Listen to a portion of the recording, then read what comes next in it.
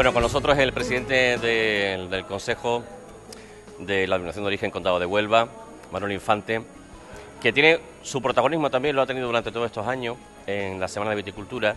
Y hoy ha querido estar presente también con un amigo suyo, con un viejo amigo como es Antonio Iglesias.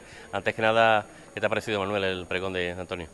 Bueno, más que, más que amigo, yo Antonio lo he considerado siempre como un padre, y se lo he dicho de manera. Digo, somos hijos, yo tu hijo biológico y yo hijo enológico de él, ¿no?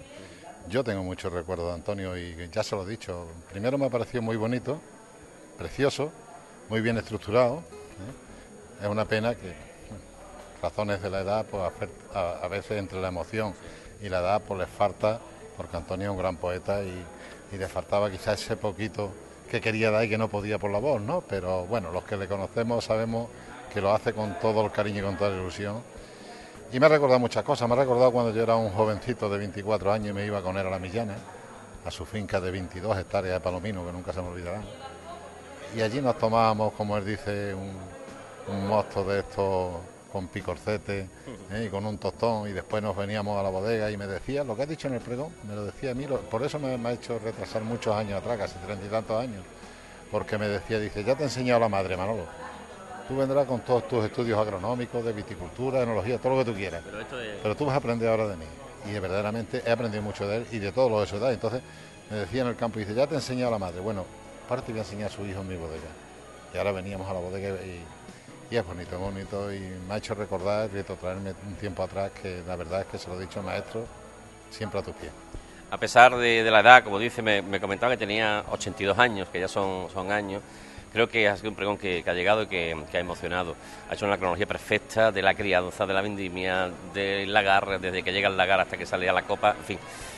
Semana de Viticultura y Enología, muchos años detrás. Este año no estás tú en el, curso de cata, no sé por qué, pero eh, actos como estos, semanas como esta, le dan de alguna forma pues eh, esencia, ¿no? prestancia a nuestro vino.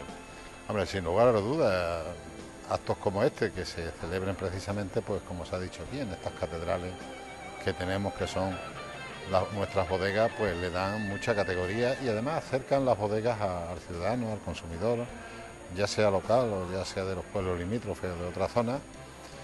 Y yo creo que la idea que se tuvo en Boyullo cuando se cambió esta actividad de, sacarla un poco en la semana de las charlas, que no es que aquello fuera malo ni mejor ni peor, pero yo creo que esta idea a mí me gusta personalmente más.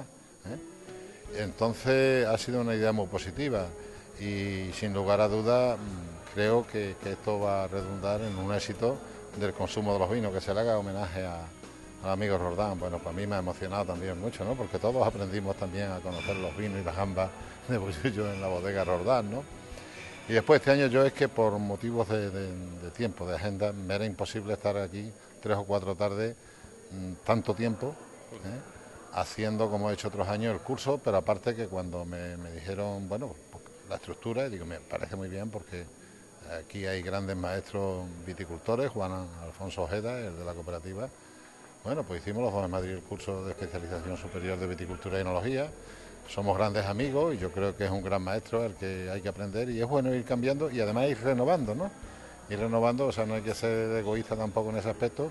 Y yo creo que este año el curso yo no voy a decir ni mejor ni peor, pero está muy bien estructurado con respecto a los que yo he dado y creo que puede ser un éxito, tal como se ha estructurado con cuatro o cinco profesores eh, más jóvenes y impartiendo una materia quizás muy condensada, pero que se va a tener una idea, si no tan desde el punto de vista cultural, pero sí más práctica para la cata de lo que yo podría dar. ¿no? ¿Qué va al curso de cata? ¿Es porque le gusta el vino? ¿Porque quiere aprender a diferenciarlo? Mm, ¿Cuál es el perfil? Pues hay un poco de todo. Mira, ayer estuve en la bodega donde estuvimos, en Convento de Morañina. Me encontré con cuatro alumnas y un alumno de distintas edades, además, que es lo bonito. Si este año no va a hacer curso de cata, digo, no, pero vamos, que vaya a tener unos grandes maestros, que aquí somos todos amigos y, afortunadamente podemos ser necesarios, pero nadie es imprescindible, ¿no? Digo, pues no lo puedo dar por motivos personales de agenda, y entonces, pero pues no se preocupéis que vaya, a estar perfectamente asesorado.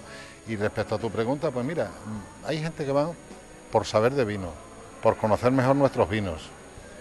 Otros por saber cuando van a comprar cómo tienen que mirar la etiqueta y cómo diferenciar un vino de calidad de un vino de menor calidad.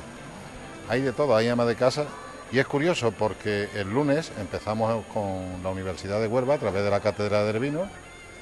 Empezamos un curso de, el segundo curso de cata, pero un curso ya que va con posgrado, que va con todo, ¿eh? donde yo voy a dar dos clases. La primera va a ser sobre la historia de la viña y hervir ligada al condado, donde tenemos una primicia, y es que una... y la voy a dar aquí. la iba a dar en el curso, pero la voy a dar aquí es que una, bueno, iba a decir licenciada, ya ha leído la tesis, ya es doctora ¿eh? en, arqueología, ha descubierto en, los yacimientos de la joya en Huelva que somos la civilización más antigua de Occidente, incluso más que la propia Grecia, en viticultura, la provincia de Huelva. Entonces esa tesina, eh, que es preciosa, a mí me ha encantado, cuando la he leído hay que entender y yo no soy arqueólogo y entonces le tenía que decir muchas veces cuando ella estaba eh, exponiendo la tesina que por favor lo explicara un poco en términos más de calle, ¿no? porque había palabras que no se entendía. Pero ha descubierto perfectamente lo que ya Columela decía de los tres tipos que ha dicho aquí Antonio, nuestro mi maestro Antonio Iglesias, de arena, barro y albariza, pues ya Columela lo dijo en el siglo I antes de Cristo, ¿no? Palustre, salustre y rabustroris. Eran los tres tipos de tierra que le iban bien las viñas, que si lo traducimos, eran las tres que ha dicho Antonio.